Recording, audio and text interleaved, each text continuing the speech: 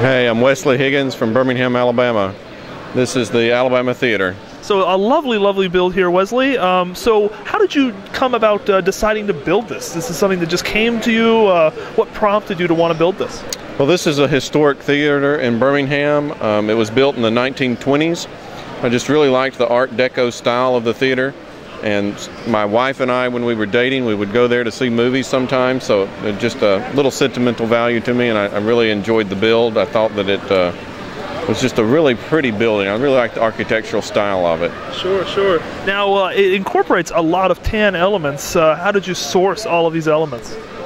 Well, I sell on Bricklink as well. I have my own Bricklink store, and so I've, I've gotten a lot of elements from Part and Out sets, and then the rest of them I, of course, purchased through Bricklink you know, just the elements that I needed.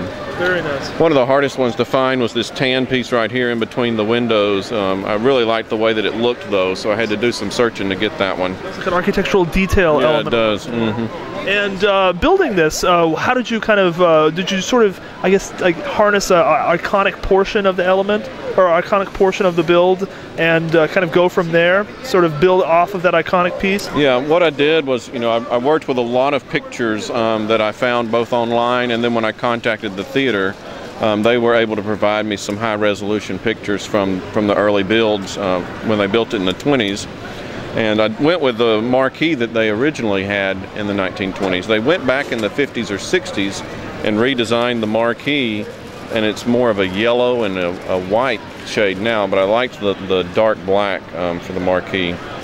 Very nice, very nice. And then these cars up front are kind of period pieces yeah, as well? they are as well. Um, I just uh, did some searches on um, Brickshelf and Flickr back then and, and was just seeing what different designs there were and found some that I liked, kind of modified those to to get that 1920s and 30s feel.